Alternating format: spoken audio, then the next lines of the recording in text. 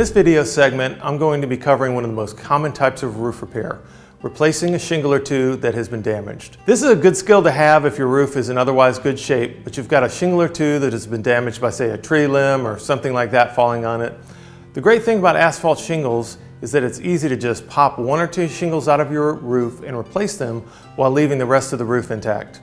Unless it's some sort of emergency situation, I'd advise taking the time to completely replace the entire damaged shingle rather than trying to patch it with some caulk or roofing cement.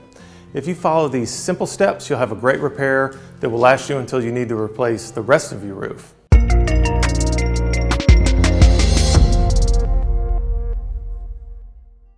So to replace shingles in the field of your roof, you're going to need a flat bar like this. This is a great tool to have on hand for this type of re repair because the first step is going to be to break the shingle free from the glue that's holding it down to the other shingles around it. Uh, if you're working with an older roof, breaking the shingle free will be relatively easy as you'll find that the glue bonds between the shingles are not nearly as strong as they are going to be on a newer roof. On a really old roof, you might find that you can just carefully pull the tabs apart with your hands.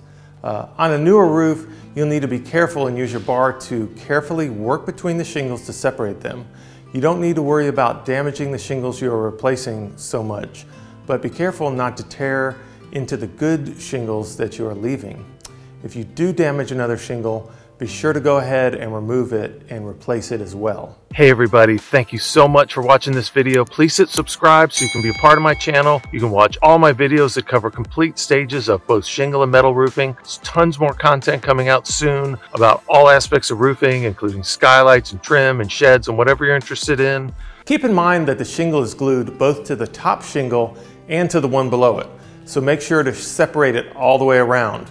You can just slide the flat bar in like this and slowly pry the shingle loose. Once you've broken the glue bond, you need to remove all the nails that are holding the shingle down. To do this, look under the top shingle and locate the nails.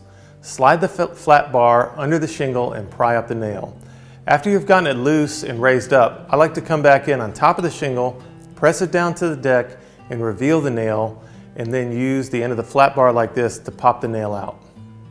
Go along like this until you have removed all of the nails in the top of that shingle. Give the shingle a tug. If it doesn't slide out, you'll need to go up to the next shingle and remove those nails too. Now this is good because it means your shingles are nailed in properly. If the person who installed your roof nailed the shingles down incorrectly and the nails are too high, they won't be holding the bottom shingle down. So next, you'll need to remove the nails in the next shingle up. These nails are going to be going through the top of the shingle you are trying to remove.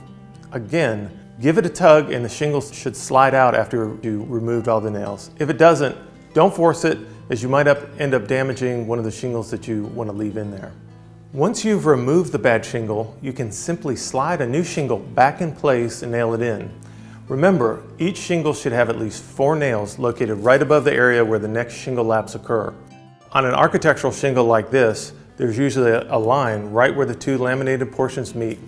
Make sure you're nailing through these sections uh, and, and into the top of the shingle below it.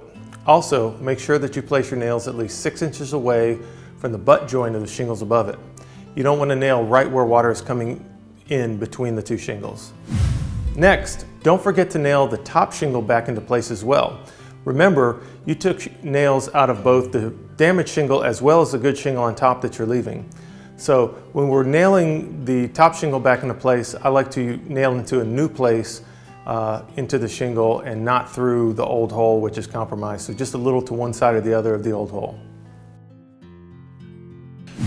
So when you're done replacing the shingles, uh, you'll want to apply some sealant to help the shingles glue back down. Now in this architectural shingle, you'll notice that the glue strip is located here on the bottom of it on the very lower edge. Uh, that means that this old shingle here will need to be glued down to the new shingle uh, to activate the glue. So in this case, this is the shingle that we replaced. The glue strip is at the bottom here of this shingle, so that's fine. When it heats up, this is gonna glue back down fine to this shingle, okay? But what we gotta watch out for is the fact that this shingle, this is the old shingle that we left in there, the glue strip that's at the bottom edge of it has really been damaged and uh, and ruined because we it had already glued down and we broke the broke the glue to get this shingle out. So this is the shingle we have to be real careful about gluing back down. So what I like to do is just bring my sealant in and lay, lay a nice fat bead of sealant all the way down underneath this shingle and press it into place. And that's going to ensure that this shingle is glued back down uh, to the top of the shingle that we replaced. Um, I also like to come in here and fill in at the holes, uh, the nail holes that, uh, that we left open because we put the nails back into a new place. Feel free to put some sealant wherever you like under the shingle if it looks like they're going to need some help holding down. So here's a tip from a pro on matching your new shingles that you're replacing with the existing shingles. The fact of the matter is, if the roof you're working on is more than a few years old, your new shingles aren't going to match perfectly. That's just the way it is. Even if you save some of the original shingles uh, from the installation, they're not going to match because the sun will have bleached out the shingles on the roof to a certain degree.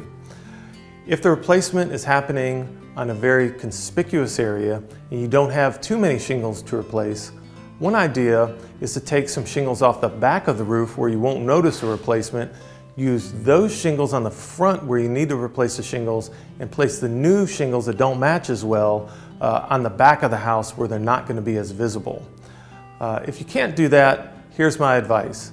Get new shingles that match the color of the shingles as they look now and not necessarily their original color, okay? So for example, if your roof was originally a charcoal black type shingle, but now it's 10 years later and those shingles are actually looking a lot more light gray than dark and black. If you have a new charcoal shingle as a replacement, it's really gonna stand out because you're gonna have a really dark black shingle against the lighter gray shingles as they exist in the house.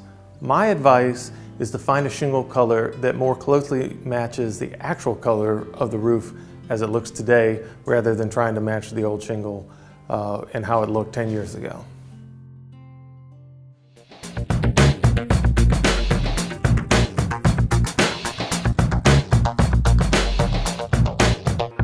If you'd like the complete series for yourself on how to do shingle or metal roofing, you can go to my website, roofingintelligence.com, and there you can get a membership to either stream or you can get a DVD in the mail. They'll show you how to do all the steps for either of those types of roofing. Enjoy this video. Thanks so much for watching.